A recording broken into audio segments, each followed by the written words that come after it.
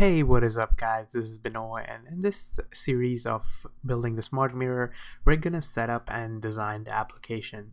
So we'll be using Ionic in this for this application instead of React Native because in the future I want to use speech recognition which is easily integrated into Ionic since it uses WebKit but in React Native I tried to do that and it was a big hassle to set it up and it only supports Android at the moment so I think using Ionic we can actually use your old iPads if you have or maybe I'm not sure but I think Ionic supports Microsoft platform as well and you can use that as well. Tablet I'm going to be using is going to be a Nexus 7 and it's going to be easy to set it up with Ionic and get it done faster compared to React Native.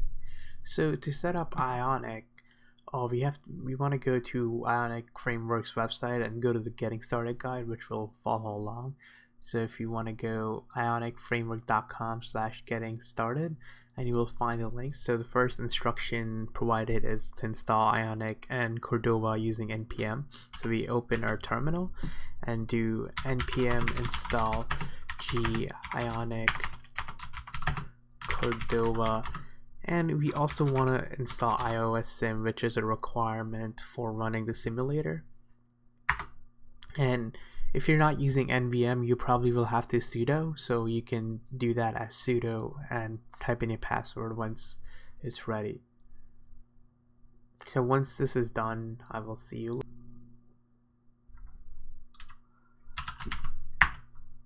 the next thing you want to do is navigate to a place where you want to put it so in my case, I'm going to put it in my folder. So I'm going to navigate that.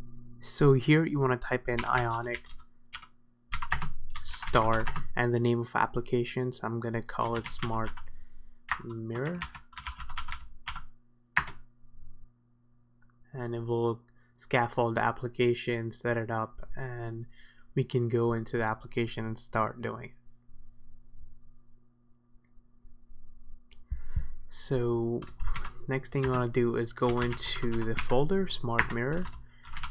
And if you look the contents you have a package JSON, a bower and uh, doesn't seem like it installs an npm by default. So you want to run npm install and you also run bower so you can do n and bower install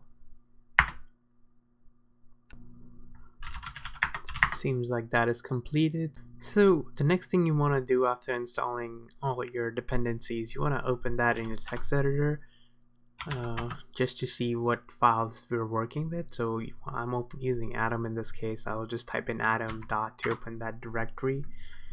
And uh, so here you can see you have the hooks folder, node modules, platforms, plugins, the Sass files, the dub dub dub, which is where all your code will be, you have the Bower RC which tells uh, configurations for Bower. You have the editor config which is configurations for your editor.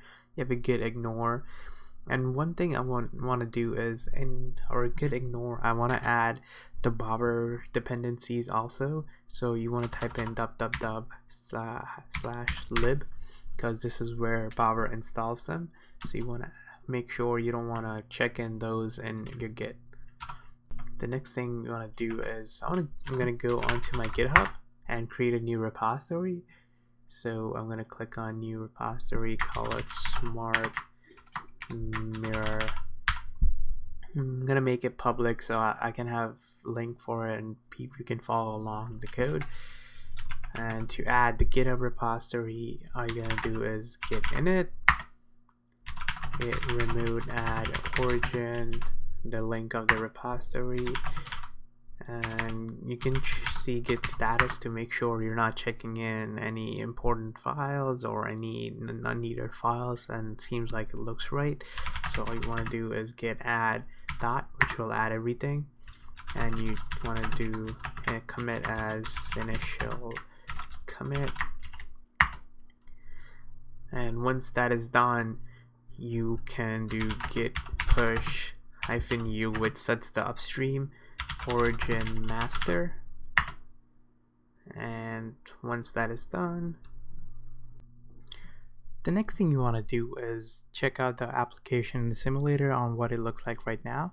To do that it's real simple. All you have to do is type in ionic emulate and you can type the name of the platform. In our case we'll use Dio simulator because it's easier and faster to run on, on a platform instead of android. So i will type in ionic emulate ios.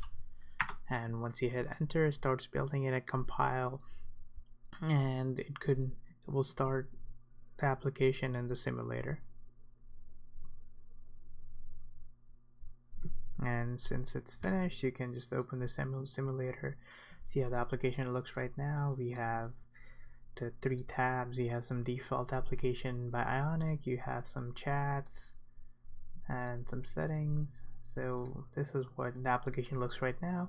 In the next section we will remove all this placeholder code. The starter code of uh, that came with the application. Start with a blank slate and start coding the application Thank you for watching, like if you liked the video and subscribe to stay tuned to more code vlog series and I will catch you in the next one.